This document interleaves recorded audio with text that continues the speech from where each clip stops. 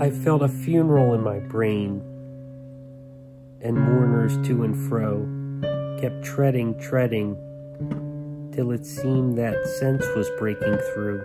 And when they all were seated, a service like a drum kept beating, beating, till I thought my mind was going numb. And then I heard them lift the box and creak across my soul.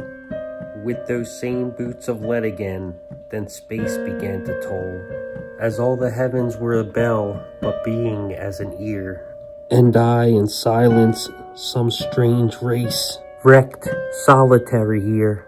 And then the plank in reason broke, and I dropped down and down, and hit a world at every plunge, and finished knowing, then... That was I Felt a Funeral in My Brain by Emily Dickinson. Please subscribe. Thanks for watching.